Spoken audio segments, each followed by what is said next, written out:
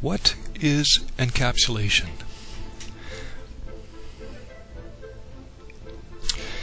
We're going to use an example of Joe Ryder here. He's uh, going to be working on his computer and he is going to write his life story. What happens when it goes on the TCP/IP network pro protocol stack? What happens when it goes through that stack? Well, let's take a look at the uh, TCP/IP model. Well, it has the application layer, transport layer, internet layer, network access layer. We're going to look at what happens as the information passes through these layers. Joe Ryder is writing his life story, right? and he's busy pumping out the pages. Now, what we can look at is that what he wants to do is he's writing his manuscript. So we're going to send it to an editor. The manuscript represents the data in the application layer. It's too large to transmit, so we break it up into chapters. These chapters represent the transport layer segments. We're going to number the chapters. This is chapter 1, chapter 2, and chapter 3. These numbers correspond to sequence numbers. This way we can transmit the information. If it arrives out of order, we can put it back into order. One of the things we want to do is we want to ID the program that it was made with. Uh, this was WordWriter Pro. We also want to say what's the client license 1234AB. This equi is equivalent to the port numbers. Now this information make up, makes up the part called the transport header.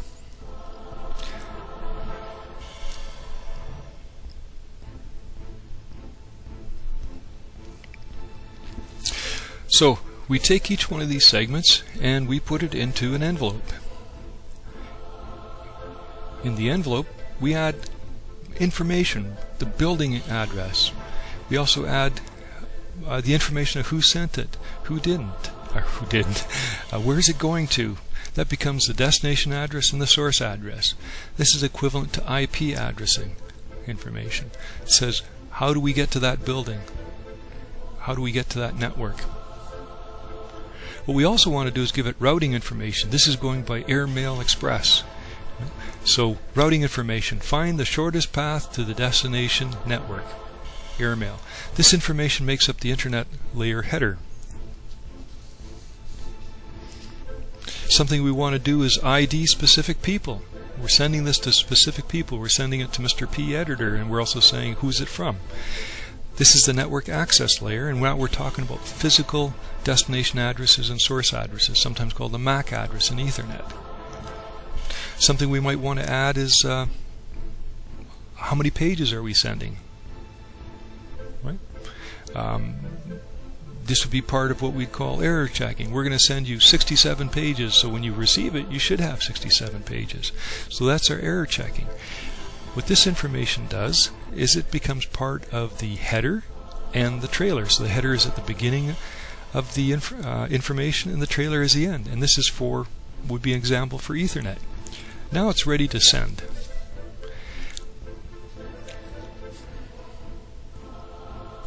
So we trot on over and Joe Ryder puts it in the mailbox. And what happens is a, a postal truck comes along and picks it up. So what these become are examples of protocols. They could be ATM and token ring and frame relay and PPP protocol and what have you. And they're on the road. The road could be copper, fiber, um, it could be satellite communications. It gets to an airplane, it could be RF, undersea cables. So we have lots of different media that it could be. Let's do a little summary here. Encapsulation. Each layer adds a header and an optional trailer to the information from the preceding layer.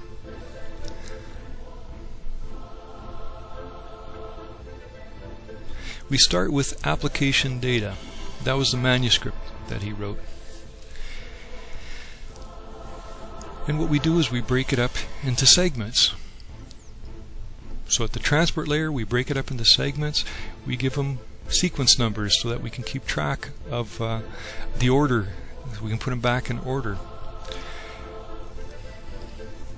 each one of these segments, we add a transport header. A transport header is going to have, that's where the sequence number is going to be located. It's going to have destination, source address, which are port numbers, and it's going to have more information.